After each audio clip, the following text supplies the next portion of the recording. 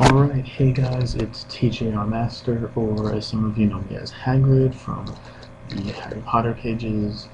Um, sorry, I've been like, like a little iffy with the magic these past like two weeks. It's just uh, a lot of stressful things going on and vacation. I'm on vacation right now, actually, so.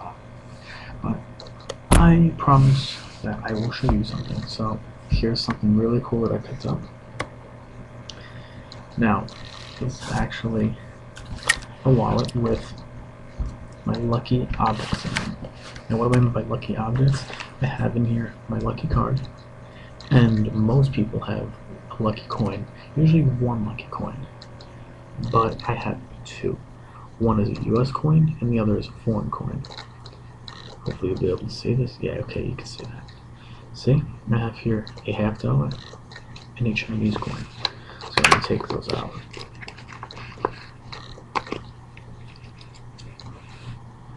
So I have here a Chinese coin and a half dollar. And then I also have here my lucky card. Let me just take the lucky card out. Now, my lucky card is actually the King of Hearts. Now, the reason for that is because it's just one of my favorite cards and it's unique, so. Now, I'd ask the spectator if you were here with me to pick a coin, either the Chinese coin or the half dollar. Let's just say you said the half dollar. So, I go ahead, I take out the half dollar, I put it down. Now, watch. Let me actually put it over here so you can get a better view of that. Watch the half dollar. One, two, three. Just like that. Now look, there's the half dollar, there's the coin, and over here is the half dollar.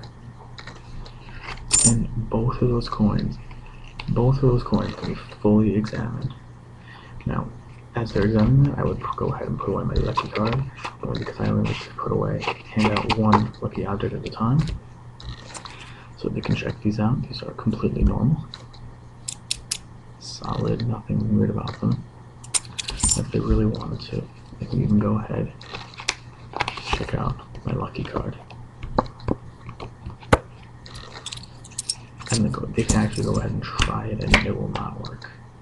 So, hopefully you guys enjoyed that one. This one's actually become a very quick favorite of mine. So, again, hopefully I will get back on track with this magic stuff. So, see you guys next time.